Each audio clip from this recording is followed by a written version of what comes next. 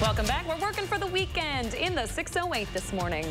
Never too early to start thinking about the weekend, nope. especially when we got a big holiday weekend coming up.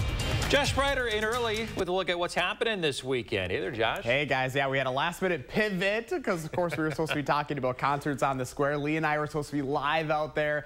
But as you've heard, it has been postponed to tomorrow due to that poor air quality and for good reason, let's be honest. The kickoff to the Concerts on the Square is now scheduled for tomorrow. And again, this is their 40th anniversary.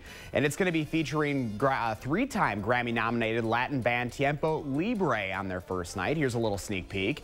Again, this is now happening tomorrow night. Music starts at 7 o'clock. News 3 Now is a proud sponsor of Concerts on the Square. So to learn more, you can go to our website, channel 3 3000.com.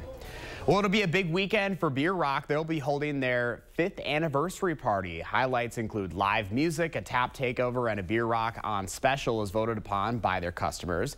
Doors will open 11 a.m. on Saturday and will be open through midnight. Bierock will still have its full food and drink menu happening the day of the event as well.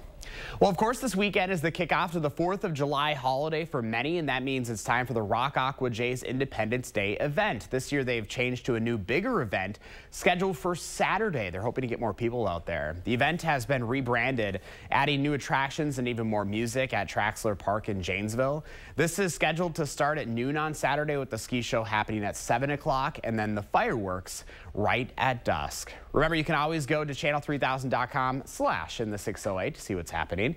You can also click on the community calendar in partnership with our friends over at Madison Magazine. So my 4th of July holiday is starting tomorrow. I'm going to start my vacation. Well, lucky doing, you. Yeah, we're doing a little staycation, I think. Uh, just hunker it in. We might make it up to Minnesota around the 4th, but uh, taking some time off. Do you guys have any 4th of July plans?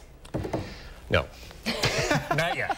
Father of four. Too soon to think about keep that. kids alive. We're going camping this weekend, but I didn't right. realize it would be considered a 4th of July holiday weekend. Yeah. So we're going in the Dells, and it's going to be just a hot oh, mess up man. there. Yeah. I feel like no matter where you go, though, it's that yeah. weekend, it's going to be nuts. It doesn't matter. Yeah. So. Good times. Um, but we usually do a pretty good job of putting all the fireworks and the celebrations up on channel3000.com. So yes, if you are wondering the times and the locations for those, make sure you check the website. All over the place. Thanks, Josh. Talk to you in a half hour. Remember to let Josh know what inspires you in the 608. You can reach out to him on social media or shoot him an email.